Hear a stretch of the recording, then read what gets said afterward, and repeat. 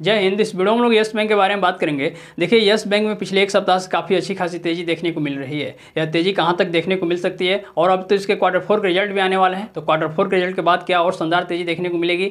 हालाँकि quarter four के result के पहले यस बैंक ने एक रिपोर्ट कार्ड पेश किया है। और इस रिपोर्ट कार्ड को ठीक क्वार्टर फोर के रिज़ल्ट से पहले पेश करके यस बैंक क्या बताना चाह रहा है? आइए इस वीडियो में सब कुछ आसान भाषा में समझने का प्रयास करते हैं। देखिए दोस्तों, यह जो यस बैंक है, हम लोग जानते हैं कि प्राइवेट सेक्टर का एक पॉपुलर बैंक है। पॉपुलर बैंक इसलिए कर रहा हूँ क्योंकि रिटेल निवेशकों की पहली पसंद है। और रिटेल निवेशकों की पहली पसंद होने के पीछे की वजह यह है कि एक तो इसका शेयर प्राइस काफ़ी कम है और रिटेल निवेशकों का इसमें पैसा ज़्यादा लगा हुआ है। रिटेल निवेशक यह बात जानते हैं कि यह तो बैंक है पेनी स्टॉक तो है नहीं, आने वाले समय में ऊपर ही जाएगा, इसलिए इसमें इनका पैसा ज़्यादा है और इस बैंक में अगर बात करें तो प्रमोटर्स तो बिल्कुल है नहीं, जितने भी इसकी हिस्सेदारी है एफ़ आई और पब्लिक के पास ही है। पब्लिक के पास हिस्सेदारी ज़्यादा है। अब समझेंगे इसका मार्केट कैप है अड़तीस करोड़ रुपया। और देखिए, जब से इसका फ्रॉड निकल कर सामने आया शेयर प्राइस नीचे जाने लगा तो इसके जो वैल्यूएशन है, उसमें भी कमी आया है। शेयर प्राइस है पंद्रह रुपये पैंतालीस पैसा। आज के दिन का आपको करंट शेयर प्राइस बता रहा हूँ और देखेंगे इसमें क्या शानदार तेज़ी देखने को मिल रही है।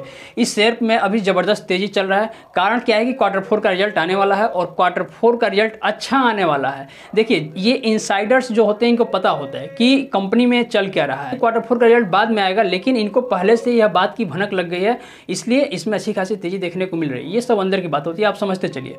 देखेंगे, पाँच दिन में ही शेयर ने पच्चीस परसेंट का शानदार रिटर्न दे दिया है। अगर एक माह की बात करें तो एक माह में भी लगभग बाईस परसेंट के आसपास यह शेयर चढ़ा है, तथा छः माह भी लगभग साढ़े सत्रह परसेंट के आसपास यह शेयर चढ़ा है। अब समझिए, अगर हाई की बात करें तो यह हाई लगा चुका है पंद्रह रुपये पचासी पैसे का।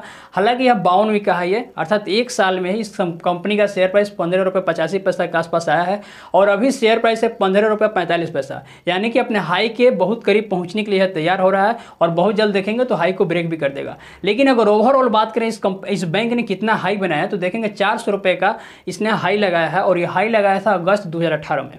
लेकिन आपको पता है अगस्त 2018 में एक फ्रॉड जब निकल कर बैंक का सामने आया क्योंकि इस, इसके ऊपर एनपीए काफ़ी बढ़ गया था इसका और इस बैंक ने अपना एनपीए छुपाया था लेकिन जब वो फ्रॉड निकल कर सामने आया उसके बाद चार सौ से इसका शेयर प्राइस जो धड़ाम हुआ उसके बाद इसका शेयर प्राइस बारह तेरह दस रुपये के आसपास तक आ गया था। अब समझिए यस बैंक ने एक डाटा पेश किया है अभी हाल ही में ट्यूजडे के दिन जिसमें बताया है कि इसका जो डिपॉजिट होता है साल भर में कितना रुपए का लेन देन हो रहा है, वो काफ़ी बढ़ गया है। देखेंगे मार्च 2022 तक अभी जो क्वार्टर फोर का रिज़ल्ट आने वाला है वहाँ तक इसने बताया है कि दो लाख करोड़ रुपए का, लगभग दो लाख का, ये पूरा मतलब रियल डाटा नहीं अप्रॉक्स में लिखा हूँ, यहाँ तक इसका डिपॉजिट हो हुआ है मार्च 2022 के फाइनेंशियल ईयर तक। अब समझिए, पिछले साल के अगर मार्च 2021 तक की बात करें तो इसमें देखेंगे सिर्फ़ एक लाख बासठ हज़ार करोड़ का ही डिपॉजिट इसमें हुआ था। मतलब ये कि अब बैंक में रुपयों की लेन देन काफ़ी बढ़ गई है, और बैंक चलते इसी से है ना बैंक में लोग ज़्यादा रुपया जमा करते हैं ट्रांजेक्शन अधिक होता है, उनके पास पैसा आता है लोन देती है, फिर इंटरेस्ट से पैसा कमाती है इनका डिपॉजिट का जो सिस्टम है बढ़ गया है। और दूसरी बात, बैंक ने यह भी बताया कि इसके ग्रोथ में भी मतलब इनका बिज़नेस ग्रोथ भी काफ़ी अच्छा खासा बढ़ रहा है। देखेंगे, सात क्वार्टर ऑन क्वार्टर बेसिस पर बढ़ा है, और अगर ईयरली बेसिस पर बात करें तो इक्कीस इनका हिसाब किताब जो है बिज़नेस का बढ़ रहा है। इस इस हिसाब से इनका ग्रोथ हो रहा है बैंक का। और अच्छी बात यह है कि ठीक है, बढ़ रहा है, लेकिन अगर यह कंटिन्यूस बढ़ता रहे, तब ना इस बार इन्होंने बढ़ा हुआ दिखाया है। पिछले क्वार्टर फोर के मुकाबले इस बार क्वार्टर फोर में रिज़ल्ट इसका बेहतर आया है। अगर अगले क्वार्टर में भी अच्छा आता है, उसके अगले क्वार्टर में भी बेहतर आता है, तब ठीक है, येस बैंक में माना जाएगा कि हाँ अच्छा खासा चल रहा है। अभी समझिए क्या है कि इस बैंक को आपको पता है, पहले जब फ्रॉड हुआ था, इसमें दिक्कत क्या था कि यह बैंक शुरू से ही कॉर्पोरेट लेन ज़्यादा देता था। लेकिन अभी जो नया मैनेजमेंट आया है, इसका कॉर्पोरेट लेन देना कम कर दिया है और यह रिटेल निवेशकों को ज़्यादा लोन देते हैं। देखिए, अच्छे बैंक जो होते हैं ना वो सामान्यतः रिटेल निवेशकों को ही ज़्यादा लोन देना पसंद करते हैं। इसके पीछे कारण क्या है कि कॉरपोरेट लोन देना काफ़ी हाई रिस्की काम होता है। अगर एक बड़े जो कंपनी होती है, उसको लोन देते हैं और कंपनी डूब जाती है तो आपका नुकसान ज़्यादा होता है। और नियम ऐसा है कि अगर कोई बैंक डूब रही है तो उसको बचाने के लिए बैंक और लोन देते हैं, ताकि उस बैंक को बचाया जा सके और उससे हमारा रुपया रिकवर हो सके।